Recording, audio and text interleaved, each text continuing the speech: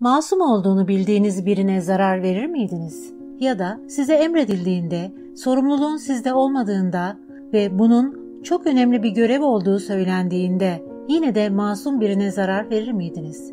Başkalarının zarar göreceğini bile bile emredilen şeyi yapar mıydınız?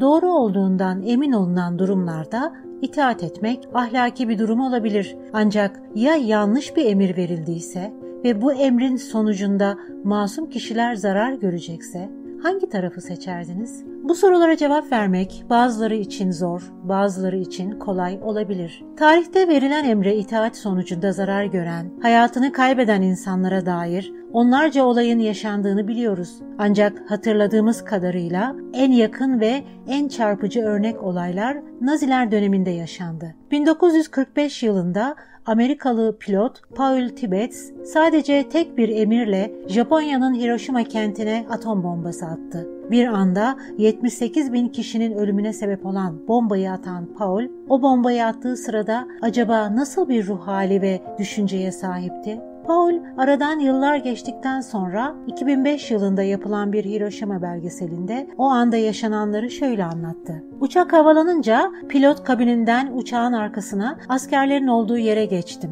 Kendimize birer kahve aldık ve onlara aslında ne yaptığımızı, uçakta ne taşıdığımızı söyledim. Bu her zamanki gibi rutin bir uçuştu. Tamamen bombalamaya konsantre olduk. Ben duygusal değilim. O anda düşündüğüm başka hiçbir şey yoktu. Görevimi yaptım ve başarıyla sonuçlandığı için çok rahatladım. Siz bunu anlayamazsınız. Hitler'in Ayman'ı gibi dedi. İnsanlar verilen her türlü emri sorgulamadan nasıl yerine getiriyorlar ve hangi psikolojiyle koşulsuz itaatte bulunuyorlar? Amerikalı sosyal psikolog Stanley Milgram sonuçları tartışmaya açık olsa da insan davranışları hakkında oldukça fikir veren bir araştırma yaptı. Başlangıçta amacı Nazi dönemindeki askerlerin itaat etme davranışının sadece onlara özgü olduğunu ispatlamaktı. Fakat araştırma sonuçları durumun tamamen farklı olduğunu ortaya çıkardı. Milgram'ın kendi adıyla anılan bu deneye gazete ilanıyla bulunan tamamen gönüllü 20-50 yaş arası 40 erkek katıldı. Denek olarak deneye katılacaklar arasında posta memurları, lise öğretmenleri, satış elemanları, mühendisler ve işçiler gibi farklı meslek dallarından kişiler vardı. Bu kişiler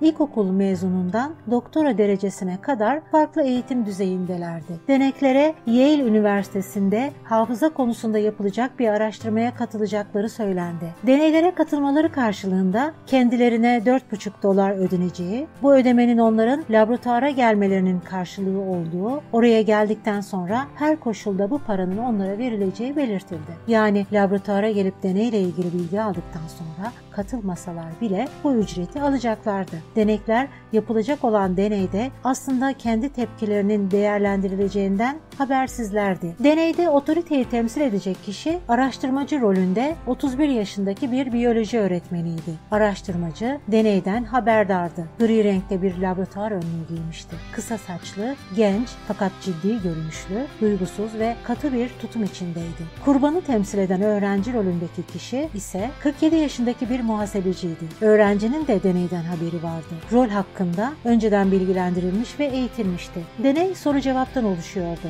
Denek soruyu soracak, öğrenci cevaplayacaktı. Öğrenci sorulara yanlış cevap verdiğinde giderek artan şekilde elektrik şoku verilerek cezalandırılacaktı. Deneklere bu deneyin bir pekiştirme deneyi olduğu, öğrencinin doğru cevap verdiğinde ödüllendirildiği gibi yanlış cevap verdiğinde de cezalandırılacağı anlatıldı.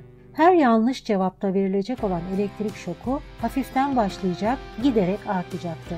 30 kademeli şok jeneratörü ile giderek artan bir şekilde elektrik şoku verildiğinde öğrenmede cezanın etkisi ölçülecekti. Aslında hiçbir şekilde öğrenciye bir elektrik şoku verilmedi. Sadece deneyin tepkisini görmek amacıyla ona bu şekilde söylendi. Gerçekte öğrencinin sesi olarak önceden belirlenmiş bir ses kaydı kullanıldı. Her yanlış cevapta aslında öğrenci bağırmıyordu. Verilen şokun yüksekliğine göre önceden kaydedilmiş ses kaydı dinletiliyordu. Deney sırasında denek bir odada, öğrenci hemen yan odada bulunuyordu. Birbirlerini duyabilirler ancak göremezlerdi. Deneyin başlamasıyla denek bir dizi kelime çiftini okuyor ve öğrencinin bunları tekrar etmesini istiyordu. Öğrencinin her yanlış cevabında denek öğrenciye en düşük volt alan 45 volttan başlayarak gittikçe artan bir şekilde şoklar veriyordu. Aslında gerçekte öğrenciye hiçbir şekilde şok verilmiyordu.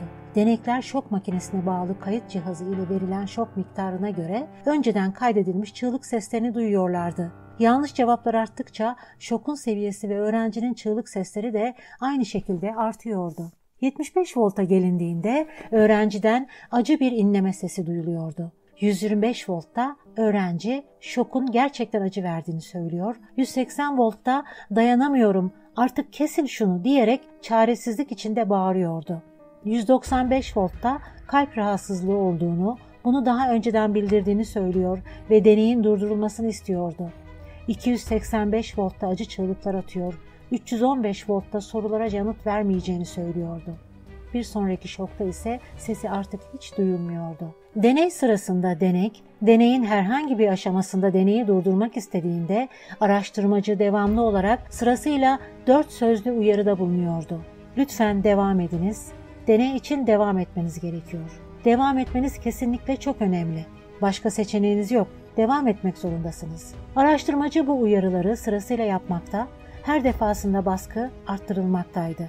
Dördüncü sözlü uyarıya rağmen yani başka seçeneğiniz yok, devam etmek zorundasınız demesine rağmen denek hala daha emirlere uymayı reddederse deneyi durduruyorlardı. Migran başlangıçta 40 denekle yaptığı deneyin sonunda hiç tahmin etmediği sonuçlarla karşılaştı. Deneye katılan 40 denekten 26'sı yani deneklerin %65'i en yüksek volt olan 450 volta kadar çıktılar. Bu kişiler vicdanlarıyla çatışmalarına rağmen en yüksek voltu uyguladılar. En az şok veren denek bile 300 volta kadar çıktı. Sadece 5 denek 300 voltta, 4 denek 315 voltta, 14 denek sondan bir önceki aşama olan öğrencinin itiraz ettiği aşamada deneyi durdurdular. Deney sırasında bazı deneklerde aşırı terleme, titreme, kekeleme ve duygusal olarak endişe hali görüldü. Milgram'a göre denekler isteseler oradan gidebilirlerdi. Fakat bunu istemelerine rağmen oradan ayrılacak içgörüye ve iç motivasyona sahip değillerdi. Denekler ayrılmak yerine orada kalmayı neden tercih etmiş olabilirlerdi?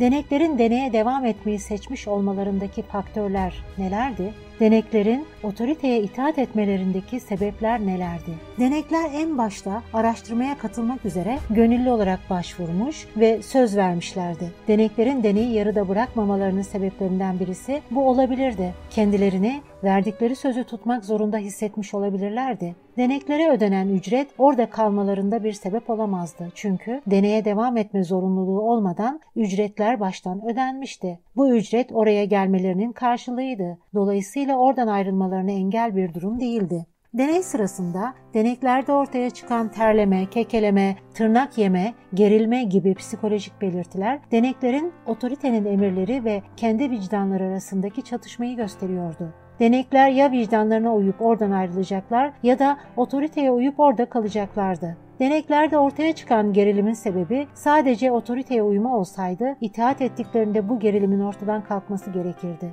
Eğer gerilimin sebebi öğrencinin yalvaran sesi gibi dışsal baskı olsaydı denekler otoriteye karşı çıkar itaati bırakır ve bu gerilimi yaşamazlardı. Başkalarına zarar vermeme ile otoriteye uyma davranışı arasındaki ikilem denekte gerilim yaratıyordu. Denekler otoriteye karşı çıkıp oradan ayrılamamışlardı. Milgram'ın bu deneyi yaptığı Yale Üniversitesi yüksek prestije sahip bir üniversiteydi. Üniversitenin bu saygın imajı bu itaat baskısını arttırabilirdi.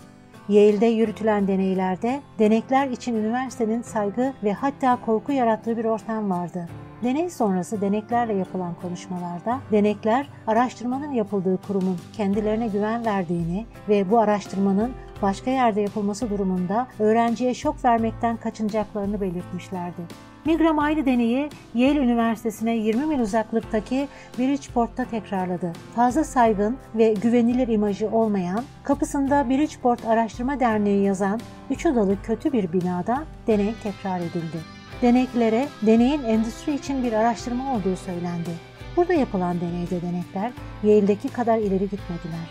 Yale'deki deneklerin %65'i deneyin sonuna kadar gidip en yüksek volta şok verirken Bridgeport'ta ise bu oran %48'de kaldı.